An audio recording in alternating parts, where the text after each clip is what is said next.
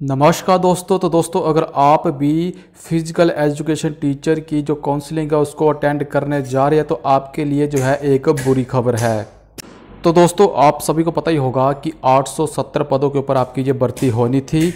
इसमें आपकी 50 परसेंट आपकी बैच वाइज और 50 परसेंट जो है आपकी काउंसलिंग के थ्रू जो है ये आपकी कमीशन के थ्रू जो है भरी जानी थी। तो दोस्तों, इसके लिए आज जो है एक बुरी खबर है।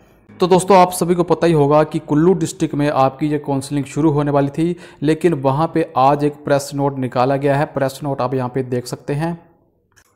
तो दोस्तों प्रेस नोट आप यहाँ पे देख सकते हैं सूचित किया जाता है कि दिनांक पाँच चार दो हज़ार तेईस को शारीरिक शिक्षा के जिला कुल्लू में बैच वाइज काउंसलिंग माननीय उच्च न्यायालय के आदेशानुसार के तहत आगामी आदेश तक स्थगित किया जाता है। तो दोस्तों, आपकी जो ये काउंसलिंग है, वो अभी स्थगित तो हो चुकी है।